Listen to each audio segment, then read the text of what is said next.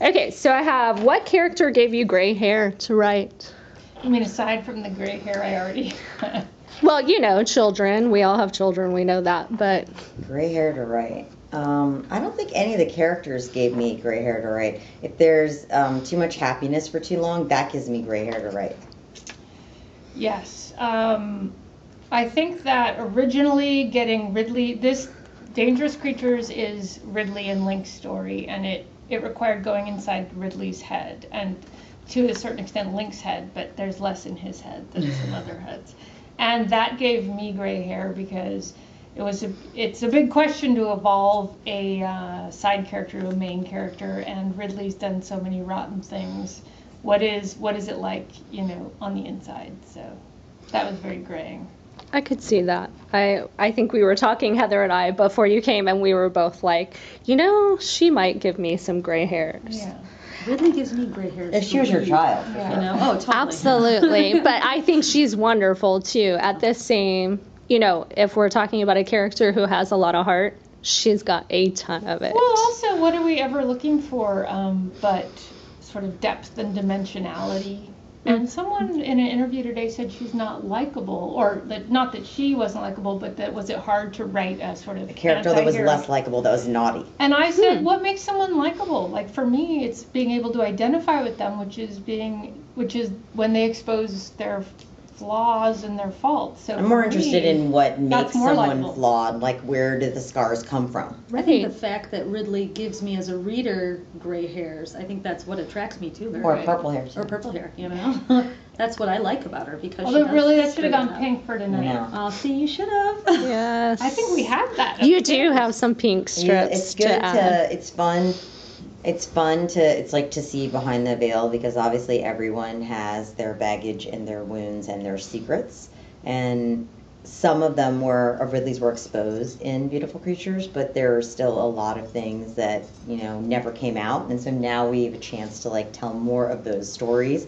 And also, you know, it's her first person, so you actually get to be in her head and, and, see the way she rationalizes some of the things. third. Yeah, the one of the things, some of the things that she does. Yeah, the the the prologue isn't first, but um, but you get to hear her thoughts. You get to think. You know, you get to find out what she, how she rationalizes some of her outrageous behavior.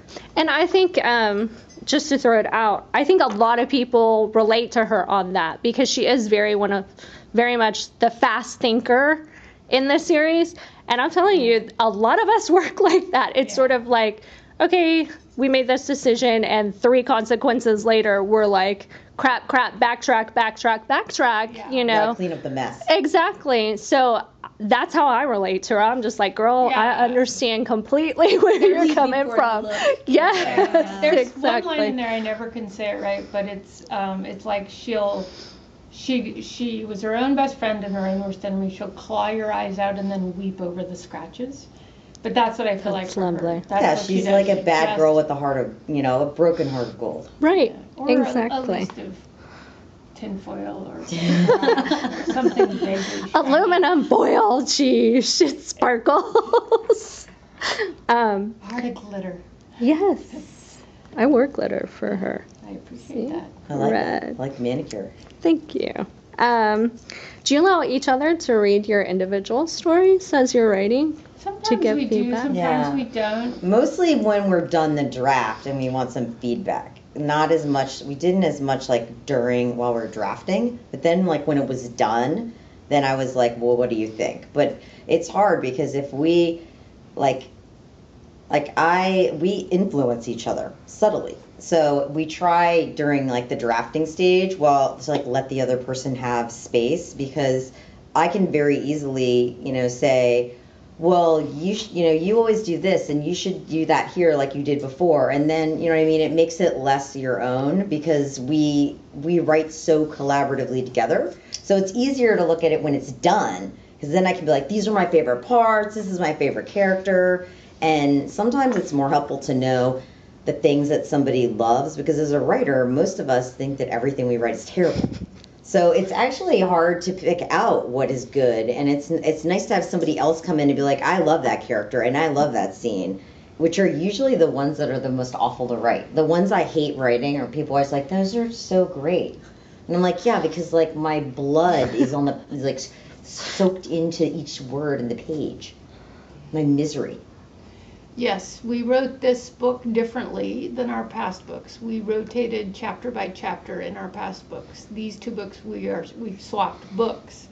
And it's really interesting to see how similar it is because partly what you were saying and I listened to other writing partners talk about that where just the anticipation Well, I was talking about our solos for that. I mean, for Oh, this, yeah. we obviously give each other tons of feedback. But Sure. I but I was some other writing partners said they write differently for their partner. Oh, right, because Right, you know what they're gonna like. yeah. Right. But um they have perceptions Yeah. already there. So it's really interesting, and partly this world is so entrenched already that And it's both of ours, so it's fun to write knowing, like, imagining how the other person is gonna like Yeah. read it for the first time. But sometimes we'll say to each other, this happened both on her draft, which she just finished of the second book, which we're revising now, and on mine of this, where I'd be like, just do it, just do it. this is the part you always do, just do it. And it's so funny because we were both like, give it a try, Right. just Right. try. And, then, it would we'll, be terrible. Then we'll Switch it add up. a little spice. But Yeah. it's Yeah. like, you know, because I was like, this is not, this is not enough, like, bad stuff is happening here. And she was like, it's a lot of bad stuff. And I was like, not really.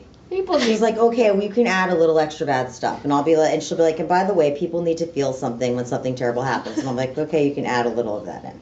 yeah, but so So- that's it's been Emotion. That's cool. But that's fun. Now, know? do you guys do research together? Because I know you have like a lot of architectural, you know, we do details and on stuff. whatever like in the beautiful creatures novels you know if i was doing a new orleans scene you know she we would both do research but you know like but not We- necessarily like in the same room we went to places together though that was fun If by research you mean eating. yeah we went to south carolina and new orleans and we went around and took pictures basically we take pictures and eat Take pictures But, and um, eat. I like this but collaboration. whoever is in charge of drafting like the first you know go at that chapter is responsible for like the first pass of Yeah. research and then some of us like you know i know more about baking. So like i'll add a little baking detail in here or there margie Right. knows more about eating so she'll add some more like and you need buttermilk pie more- with your chicken I know more about eating. Do you like how she just Plating. You like how she just threw that in there? Yeah. Okay. In case you were wondering, who knows about eating?